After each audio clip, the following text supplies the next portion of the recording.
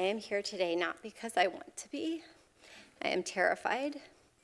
I am here because I believe it is my civic duty to tell you what happened to me while Brett Kavanaugh and I were in high school.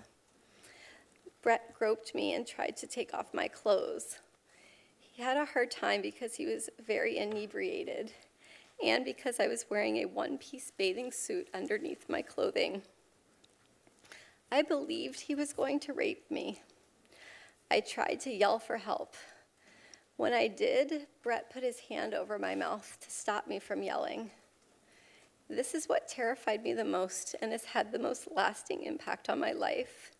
How are you so sure that it was he?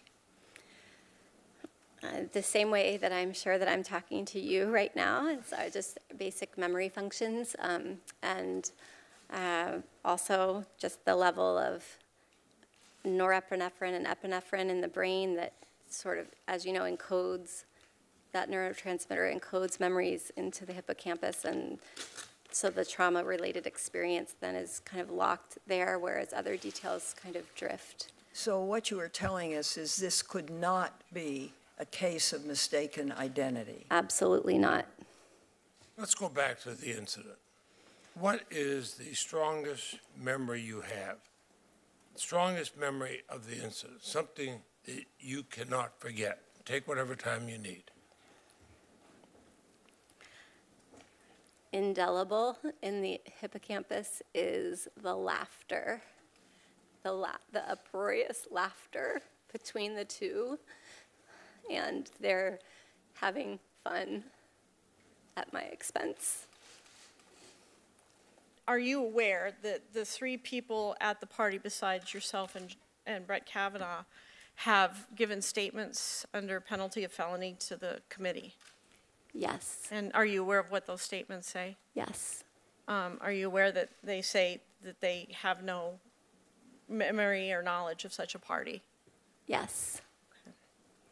I don't expect that PJ and Leland would remember this evening. It was a very unremarkable party. It was not one of their more notorious parties um, because nothing remarkable happened to them that evening. They were downstairs.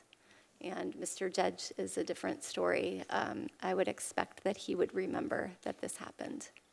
Can you tell us what you don't forget about that night? the stairwell, the living room, the bedroom, the bed on the right side of the room. As you walk into the room, there was a bed to the right, um, the bathroom in close proximity, the laughter, the uproarious laughter, and the multiple attempts to escape and the final ability to do so. Last night, the Republican staff of this committee released to the media a timeline that shows that they've interviewed two people who claim they were the ones who actually assaulted you. I'm asking you to address this new defense of mistaken identity directly. Dr. Ford, with what degree of certainty do you believe Brett Kavanaugh assaulted you? 100%.